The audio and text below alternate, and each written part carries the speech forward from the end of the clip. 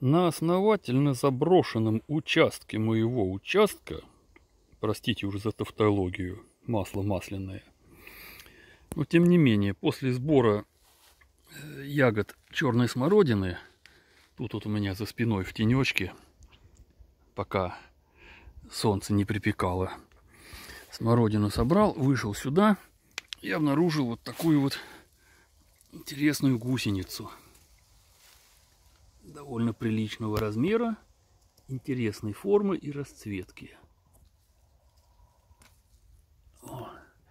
Они встречаются достаточно часто, ну не то чтобы часто, но более-менее регулярно. Отцепляйся. О, прицепилась-то, а?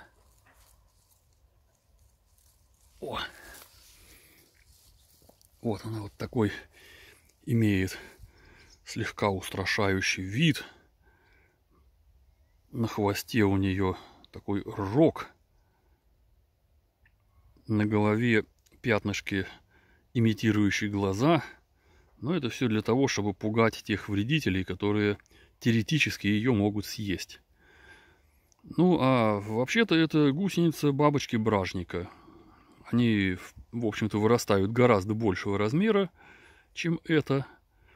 Не знаю, насколько она вредна, а поскольку не знаю, я это животное, если так можно выразиться, это живое существо, сейчас отпущу на место.